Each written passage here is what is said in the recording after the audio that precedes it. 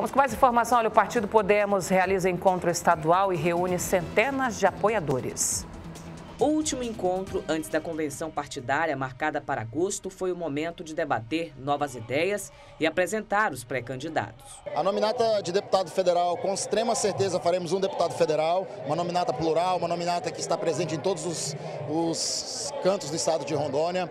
A nominata de deputado estadual, com certeza também faremos dois deputados estaduais. E o principal, que é o nosso pré-candidato ao governo, que é o deputado Léo Moraes. O deputado federal Léo Moraes, pré-candidato ao governo, disse que o Podemos ainda não escolheu um vice, mas que o partido está buscando o melhor para o povo. Estamos animados aqui com os nossos pré-candidatos, tanto a estadual quanto a federal, com o único propósito, desenvolver, elevar o nome de Rondônia. E nós iremos incessantemente rumo ao progresso, porque esse estado tem tudo que os outros almejam e desejam. Nós temos terra de qualidade, água em abundância, minério, gente trabalhadora. O que nós precisamos é de sinergia do poder público com a nossa brava gente e é isso que nós iremos buscar.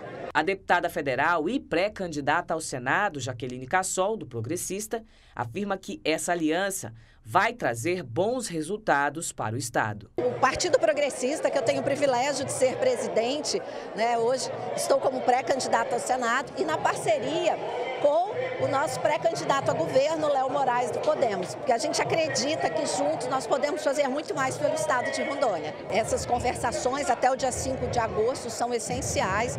A partir do dia 20, o 21, né, a gente já pode começar a fazer as convenções.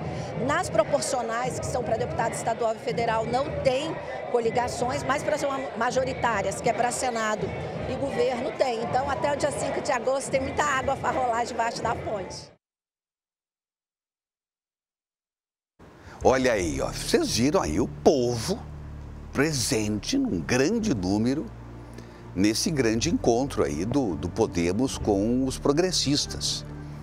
Léo Moraes, candidato ao governo pelo Podemos, Jaqueline Cassol, candidata ao Senado eh, pelo, pelo PP, tem tudo para caminharem juntos. Evidentemente que temos que esperar eh, chegar aí à convenção, mas tudo indica que, que eles estão aí já conversando, conversas muito adiantadas, chegando ao ponto de fazerem aí uma, uma pré-convenção e os dois juntos.